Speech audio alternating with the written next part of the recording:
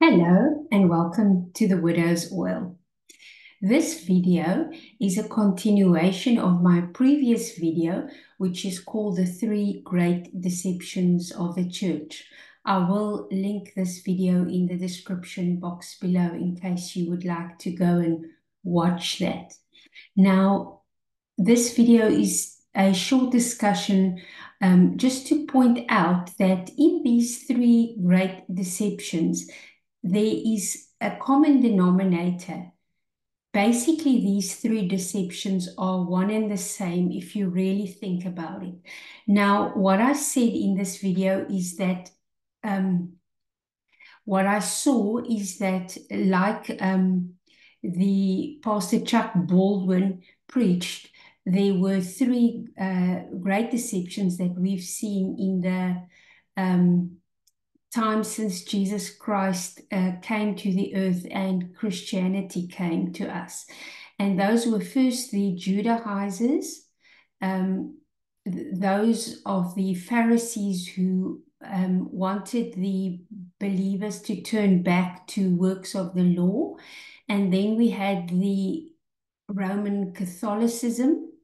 Um, I'm basically speaking of the Western Church now. I do not um, understand or know the, the tradition of the Eastern Church, though I would say they probably have the same type of problems as what we saw in the Roman Catholic Church. But uh, we in the West uh, know the history of the Roman Catholic Church, and then in modern times and in our day, we are having a big struggle against Christian Zionism um, in the church. But I want to point out that in all three of these, we have two factors at play, and it's always like that. And if we can recognize that, then it's much easier for us to recognize heresies and false teachings and false prophets because in these three major deceptions, I see two factors at play, and I will show you the scriptures after just giving you a summary of it. The first factor is that they always take you back to the law. The Judaizers did that. Roman Catholicism was all about works, and Christian Zionism is also proving in our day more and more to show that its real colors is about taking you back to the law. Um, so that's the first factor is works of the law, they take you back to that. A false prophet will take you back to a righteousness of his own making and not the righteousness of the Lord, which is um, given to us by grace through faith. The second factor that these three deceptions have in common is they all seek an earthly kingdom. In the first century, those of the um, of the Israelites that believed in, in the Messiah still kept wanting a earthly kingdom. They didn't understand that what Christ brought is a heavenly kingdom, which is far greater. They they were blind to that and they thought it was going to be a earthly kingdom for their nation.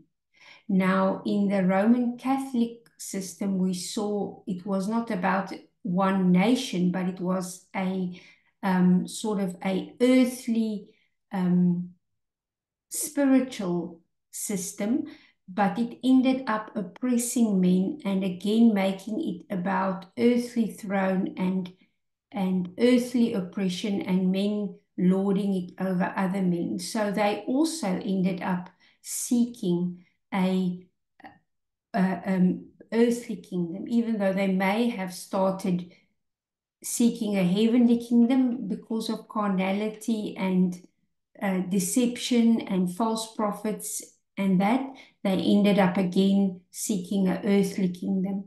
And likewise in Christian Zionism, it's all about the earthly kingdom. It it started with this um, Israel in in uh, in the Middle East in 1948 in creating a physical state of Israel. And to this day, it is about that, about an earthly is Israel and the earthly kingdom on earth. So you will always see that. Uh, that will help you see um, these three great deceptions, and it will hopefully also help you if you meet up with false prophets um, to recognize this that they um, also tend to make their own little kingdom, even if it's their own little uh, cult, it's their own little kingdom on earth. So it seems to be a pattern that uh, is that that manifests itself because of this spirit of disobedience and rebellion. Now, um, I'm just going to share a few scriptures regarding these two aspects. Firstly, let's look at the aspect of the kingdom of God, um, which Jesus clearly said was a spiritual kingdom that he came to set up. Um, we know many of these scriptures, but it's good to just um, be thorough in what I say and just um, bring up these scriptures that prove these things. Firstly, the very well known scripture where Jesus said in John 18, verse 36, My kingdom is not of this world. If my kingdom were of this world, my servants would fight so that I should not be delivered to the Jews, but now my kingdom is not from here. So Jesus came to set up a spiritual kingdom, which is the New Jerusalem.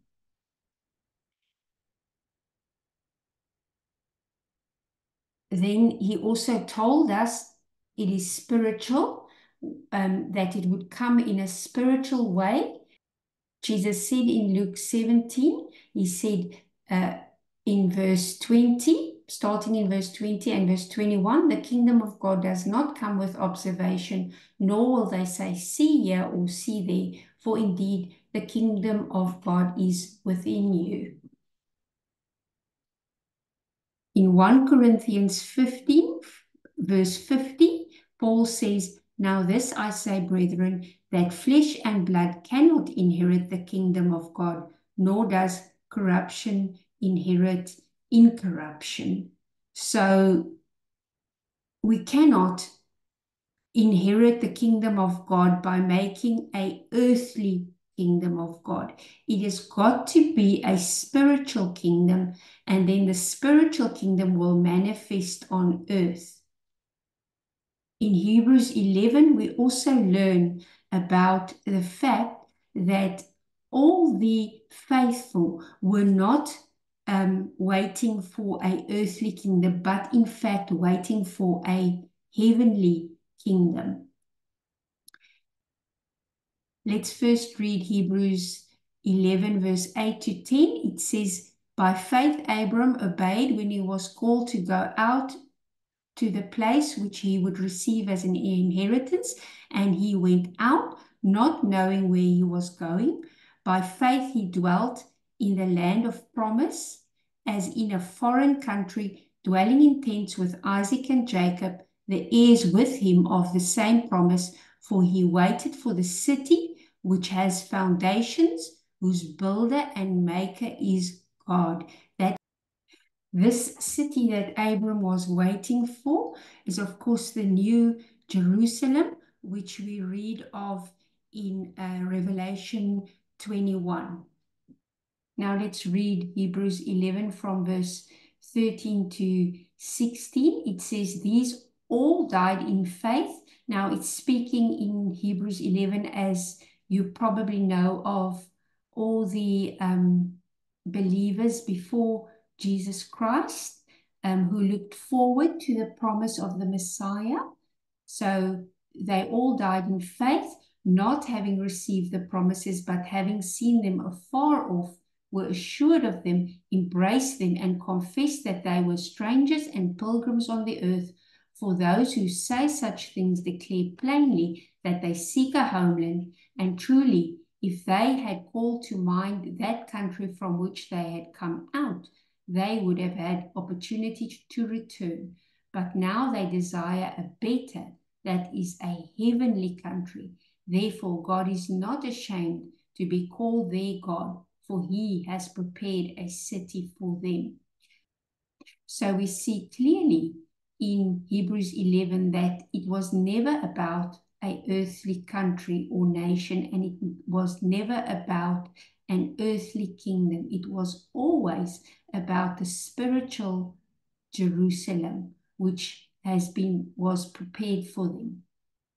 Now, let us look at the second aspect, and that is the aspect of um, the law that uh, the deceptions also involve um, a rejection of the new covenant and turning back to works of the law and a righteousness of our own. And by that, we reject Jesus Christ. It is very sad that so many people who who say and name the name of Jesus do not realize that by um, by returning to works of the law, they actually deny Jesus Christ and they reject the new covenant. So that is a very important thing to know. It really helps us avoid deception. So we read there um, in 2 Corinthians 3, Paul tells us of this new covenant. He, he speaks of the apostles um, himself, Peter, James, John, etc., as ministers of the new covenant, not of the letter, but of the spirit. For the letter kills, but the spirit gives life. So we see that it it's all about the new covenant, which brings us to life. And Jesus said the same thing in John 6, verse 63. Jesus says the following It is the Spirit who gives life, the flesh profits nothing. The words that I speak to you are spirit and they are life. So it is the spirit, the words of the Jesus, the word that he spoke to us can raise us up to life. Works of the flesh will not do that. Now, yeah, in Galatians 5 verse 2, Paul says exactly the same thing. He says, Indeed, I, Paul, say to you that if you become circumcised, Christ will profit you nothing. So you see there, Jesus said, His words, the Spirit, gives life. And if you try to be perfected by yourself, it will not work. And that is why Paul was telling them, those who had, those uh, people from the pagan nations, that had turned to Christ and then they wanted to turn back to the law. He said it will profit nothing because works of the law um, do not, we are not in the old covenant anymore. We are in the time of the new covenant. And they were in that time because the old covenant was fading away and the new covenant was coming in. The same is regarding doing works, having a works based um, system like the Roman Catholic Church uh, had. Paul tells us in Ephesians 2, the very well known part where he says in Ephesians 2, verse um, 8 to 10, For by grace you have been saved through faith and that not of yourselves, it is the gift of God, not of works, lest anyone should boast. For he, we are his workmanship, created in Christ Jesus for good works, which God prepared beforehand that we should walk in them. So I want to stress not of works. So even though the Roman Catholic Church didn't actually turn back to the law of Moses per se, they still did try to gain perfection by works. And this goes on to say that if we if we accept this gift of God, then these we will do works, but our works will follow us. In other words, through the faith, works will happen. We do not go and do works um, to be saved. Lastly, I just want to look at Romans 10, which actually speaks of the two forms of righteousness. Um, you can read the whole chapter by yourself. I've just highlighted um, three parts that I'd like to look at. Um, basically, what it says there is Israel of old did not submit to the righteousness of God. Now, he says, therefore, Moses writes about the righteousness which is of the law. The man who does these things shall live by them. And then it speaks of the righteousness of faith. So I don't want to go into the details. I just want to point out that there was the righteousness of law, whereby um, in the old covenant, the Lord set up a system, um, but that was because of the disobedience and transgressions of Israel. He set up a system of righteousness by the law. The thing is, you have to do the law in order to have that righteousness. And the problem is the flesh is weak to do those things. So the new covenant that Jesus brought is the righteousness of faith. And that is the system that superseded the old covenant system. So in both cases, when they were under the law, they didn't do the law. They did not submit to the righteousness of God. And when the new covenant came, they still um, did not submit to the righteousness that God had brought to them. They wanted to go back to the law, which they couldn't keep in any case. And now in our day, we see with Christian Zionism this same thing of rejecting the righteousness of uh, faith of the new covenant in exchange to go back under the law of Moses. Now, the people make their own form of righteousness um, by deciding which laws to keep. But we, we cannot have a righteousness of our own. We must submit to the righteousness of God. Um, and then it says, therefore, Christ is the end of the law for righteousness to everyone who believes. So these are quite simple things, but it's often when we get to the nitty gritty and the very basic simple things that we actually have the um, instruments to protect us against weapons, spiritual weapons of deception. It's when we understand how things work and the schemes that are set up against us that we actually start to um, really understand what the scriptures are telling us. That is why on my channel I stress so much uh, the the um, deception of falling back to works of the law because it's one of the basic, basic ways which false prophets deceive you. And it is the two basic milk doctrines being faith and repentance of dead works um, that we need to know in order not to be deceived. And we cannot move on to maturity until we really understand this.